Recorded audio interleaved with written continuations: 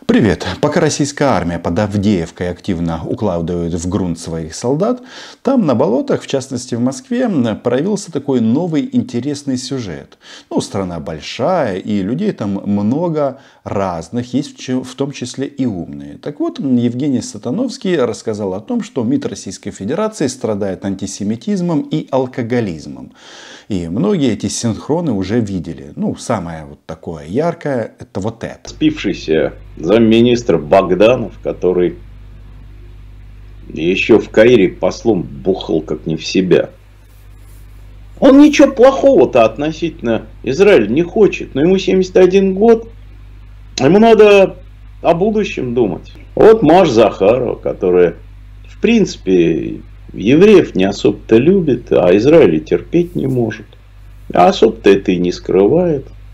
Еще одна сильно выпивающая шмара который у нас, тем не менее, спикер нашего МИДа. Естественно, в районе Останкина и улицы Правда после этих слов разгорелся скандал. Сатановского уволили а, с канала Соловьев Live.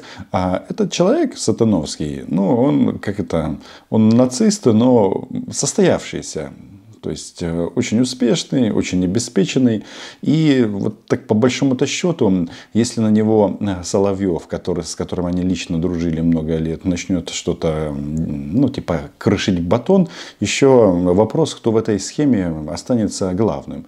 Про Захарову, сильно пьющая, шмара, ну, дело такое, вкусовщины. На самом-то деле Сатановский сказал то, что думают все а, про Захарову, хотя, насколько мне известно, раньше она не выпила выпивала, просто была шмарой. Ну, если пользоваться терминологией Сатановского. Ну, это их дело. Вопрос в чем? Что я посмотрел это интервью, потому что резонанс, ну, вообще интересно. А, давно а, в России люди не называли вещи своими именами. Так вот, выяснилось, что интервью достаточно глубокое, и там есть намного интереснее вещи, чем а, сильно выпивающая шмара. Там вопрос в том, почему, собственно говоря, Россия занимает такую позицию по отношению к Израилю? Почему они выбрали, собственно говоря, террористов? Ну, есть одна причина, что они сами являются террористами, но все, как всегда, глубже и интересней. Вот э, ситуация, при которой Путину до зарезу нужны иранцы, арабы, турки.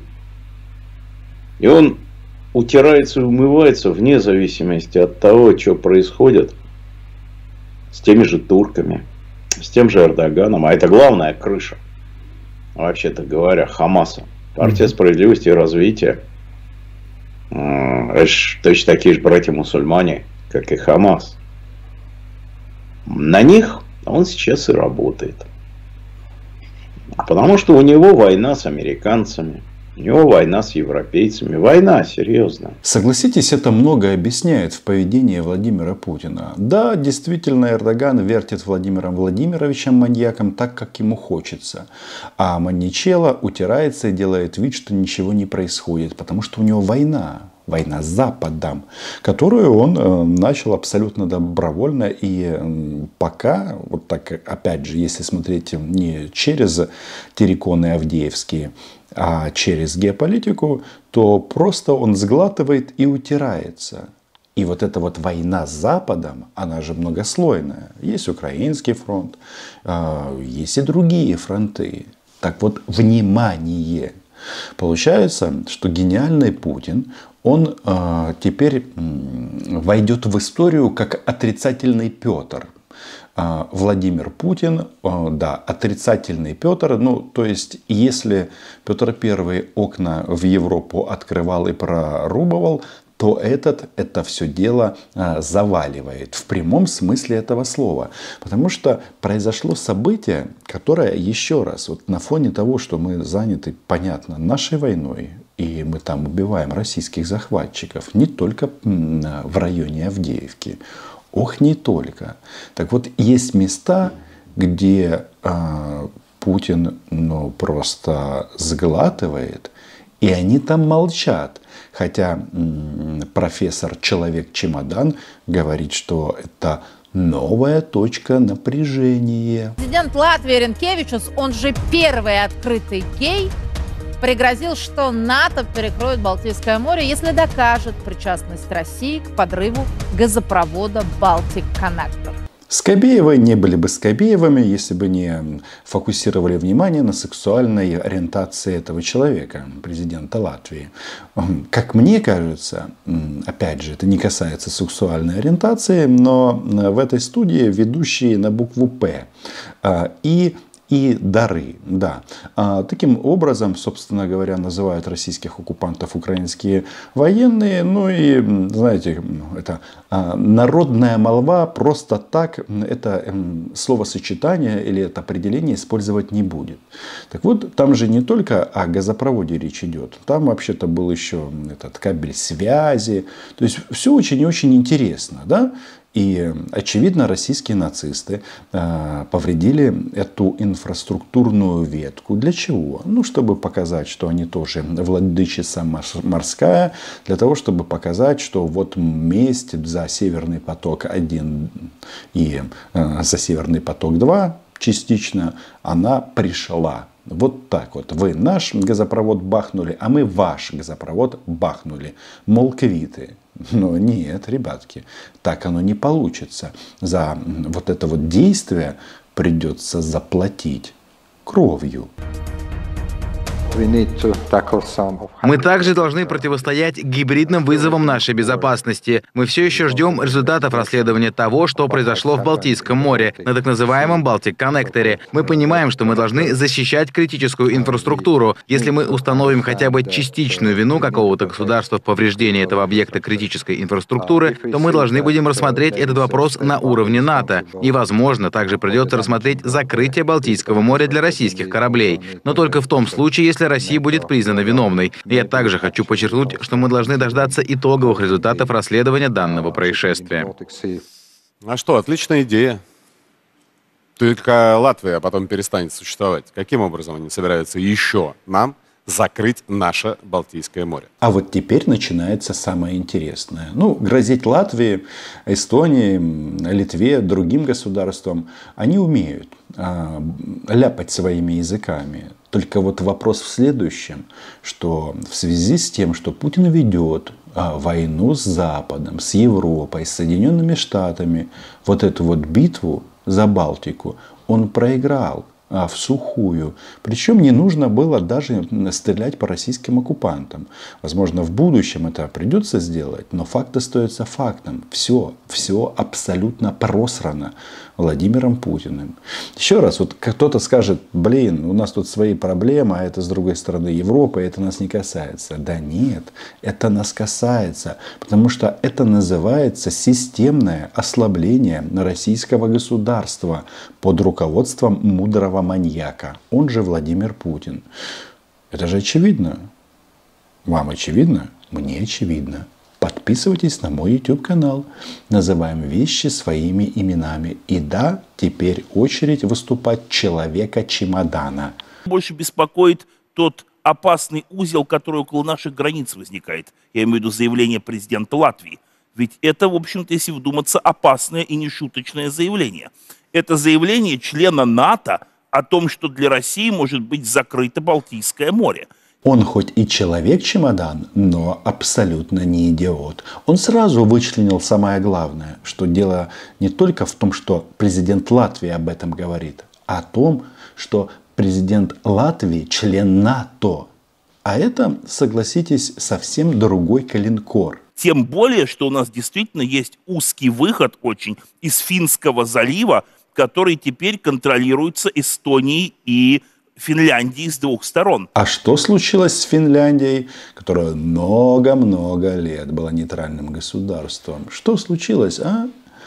Товарищи россияне, обтекаем, обтекаем. Да, эта страна вступила в НАТО, посмотрев на те ужасы, на те преступления, которые делают российские упыри, да, на оккупированных территориях Украины. И теперь по факту, значит, исключительно с точки зрения морского а, международного права, а гордая Эстония и Финляндия берут и закрывают Финский пролив для Российской Федерации. Раз, два, и мы видим а, отрицательного Петра Первого. А если мы еще и подбросим в баланс Швецию, то здесь ситуация может стать очень Но у нас еще серьезной. Калининград есть, все-таки еще один выход. В том-то и дело, что отрезается в этом случае Калининград от морского сообщения с остальной Россией. Чем быстрее на Западе, в Европе в частности и в Штатах осознают, что Путин действительно ведет против Запада войну в прямом смысле этого слова, чем быстрее это сознание придет, вот после того, что произошло в Израиле, после этих сотен трупов, я думаю, там вот эти серые вещества начнут вращаться быстрее, и народ будет делать соответствующие выводы. И получается, что у Запада, который вот все пытается не эскалировать ситуацию, и так и сяк, ну, очевидно, дойдет только после трупов. Ну, извините за прямоту, дойдет окончательно. Но механизмов и рычагов влияния на Рашу более чем достаточно. Эстония перекрывает вместе с Финляндией проход в Балтийское море, и все. До побачення. А, ну да. А, Балтийское море не ваше. Скажите Путину спасибо за это. И вот здесь может действительно возникнуть опасная ситуация. Соотнесем это с заявлениями Буша, ой, прошу прощения, в- э, нынешнего, б- они, э, Байдена. потому что, да, похоже на Буша старшего по агрессии, поэтому не случайно оговорился. Э, Нашего Хотя тот республиканец был. а агрессия одинакова. А по степени агрессии мало чем отличаются друг от друга. Прикольное сравнение Буша старшего и, соответственно, дедушки Джозефа Байдена. Напомню, при Джордже Буше старшем произошло интересное событие, которое вошло в историю на болотах как великая геополитическая катастрофа. Когда совок развалился к собачьим, да, просто развалился. Он э, руководил государством американским с 89 по 93 год. А, Там много и войн было, много было разного интересного. Но теперь у нас Джозеф, э, он э, не республиканец, он демократ. Было бы прикольно, так сказать, можем повторить. Ну и нагнуть российское государство ну, может быть, не нагнуть, а как-то сделать так, чтобы их стало стран больше, и демократии на этом пространстве тоже стало больше. Они это понимают. И этот процесс запущен, кстати, непосредственно Владимиром Путиным. Э, так вот, Байден говорит о чем? Мы защитим каждую пять э, земли НАТО. Вот подобные силы в Прибалтике, в Финляндии националисты, в Польше вполне могут это воспринять как карт-бланш каким-то агрессивным действием в отношении России. У нас есть зонтик, мы прикрыты, вперед начинаем всевозможные провокации. И вот здесь действительно может полыхнуть искра крупного, э, как минимум, регионального конфликта. Намного более интенсивного, чем украинский. Почему сразу агрессивным действием? Делов-то. Значит, исключительно экономическая зона Эстонии и Финляндии. Это их право, как определять проход кораблей в сво- своих водах. Агрессивные сразу. Националисты. Да нет, еще раз, все согласно того, как пишет э, документ. э, Международное морское право. Книжка там толстая. Но вот э, мы видим, как дорого России обойдется вторжение в Украину. Не считая сожженных танков вместе с экипажами, десяток, другой, третий, а уже там уже под 300 тысяч трупов российских солдат, это ж еще не конец. Значит, а, в Израиле все сразу поняли. После того, как стала понятна а, окончательно позиция Кремля по убийству евреев, знаете, у нас тут э, не все благополучно. И тяжело, и под Авдеевкой тяжело. Но если мы исходим из принципа, что делай, что должен, и будет, что нужно нам, тогда все хорошо. Значит, союзников у нас будет больше. Ну а Путин продолжит обтекать перед э, арабскими монархиями. А все для чего? Чтобы не выглядеть хуже, чем он есть. Не получится у него. Ну, ему нужно, чтобы вот хотя бы этот самый третий мир объединился, и к нему там приезжали какие-нибудь африканцы, азиаты, арабы. И в этой тусовке мы бы были на правильной стороне истории. Но он же тоже не мальчик. 70 лет человеку. Даже 71, как Богданова. Хотя не пьет, спортивен. Речь идет о Владимире Путине. Вы думали просто так, а они танцуют чечетку перед э, Ким Чен Ином северокорейским? чтобы показать, что есть люди, которые еще готовы здороваться за руку с Владимиром Путиным. Заметьте, на фоне этих геополитических изменений он перестал соблюдать даже коронавирусные ограничения.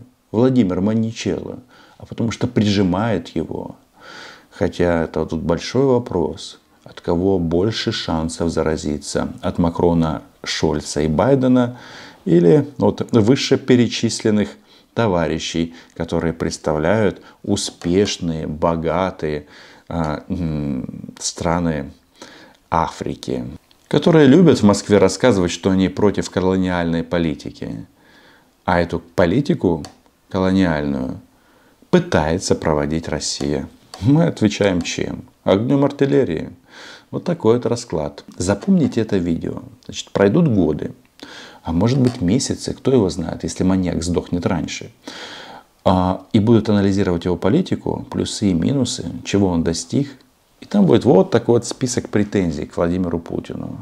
И то, что он просрал Балтийское море, это одна из них. Подписывайтесь на мой YouTube канал.